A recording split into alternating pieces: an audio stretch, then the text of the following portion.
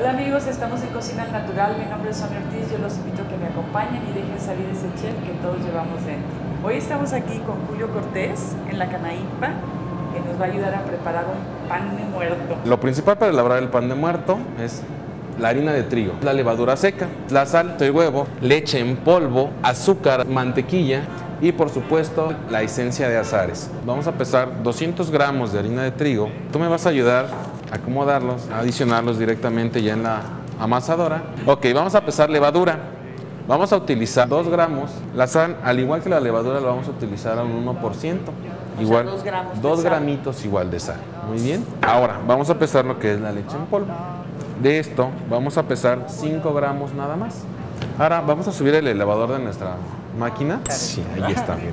Y vamos a incorporar estos primeros ingredientes. Vamos a continuación agregar ya los ingredientes líquidos. Vamos a quebrar solamente una pieza de huevo, a pesar la cantidad de agua que vamos a utilizar para terminar de hidratar nuestra masa.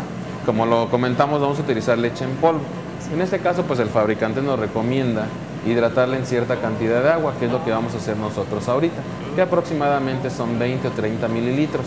Y vamos a adicionar pues nuestra esencia, o 30 gramos o 30 mililitros. Vamos a pesar el azúcar, 60 gramos. Este proceso es el más largo, podemos esperar unos entre 12 y 13 minutos para que se integre bien. Vamos a adicionar 60 gramos de mantequilla. Muy bien. Es- Este es un tiempo pues bastante largo, aproximadamente entre 15 y 22 minutos de amasado y pues ya tenemos nuestra masa preparada. Lo que vamos a hacer se le llama torneado de masa, que es esto. Lo vamos enrollando como si fuera un taquito, de tal forma que quede más apretada la masa para dejarla fermentar aproximadamente una hora. Ok, ahora Sonia, ya fermentó nuestra masa. Entonces lo que vamos a hacer es porcionarlo en tres partes. Ahora, ¿qué vamos a hacer? Vamos a porcionar aproximadamente una tercera parte de nuestra masa. Esto lo vamos a amasar a mano, es únicamente para que se incorpore la harina.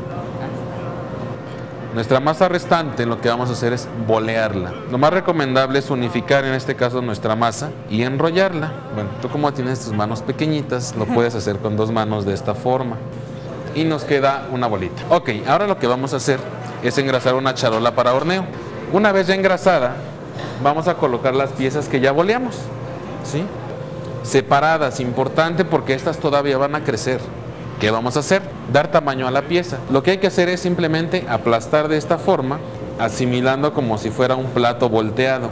Ya una vez que le dimos tamaño a nuestras piezas, la masa que ya habíamos reservado con harina, vamos a trabajarla para decorar nuestro pan.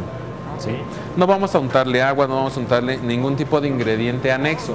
Con la misma humedad que tiene nuestra pieza de pan, va a ser suficiente para que se peguen nuestros huesitos. Vamos a extender con ambas manos, tomando del centro el grosor y extendiéndolo hacia los lados. Vamos a tomarlo y hacer como una U para identificar la mitad.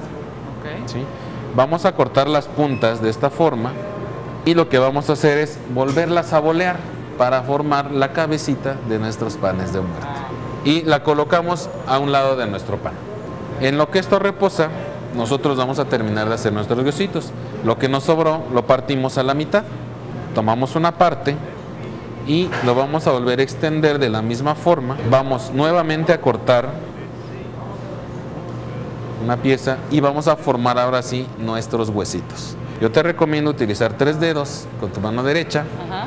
y dos con tu mano izquierda y aquí te quedan como un collarcito. Aquí si te das cuenta queda una especie de cunita, que es lo que vamos a ir procurando que nos quede al centro de nuestro pan. Esto lo vamos a dejar fermentar aproximadamente 60 a 70 minutos más. Lo que vamos a hacer con la ayuda de un atomizador, rociar solamente esta parte de arriba. Ponemos la bolita y metemos a hornear.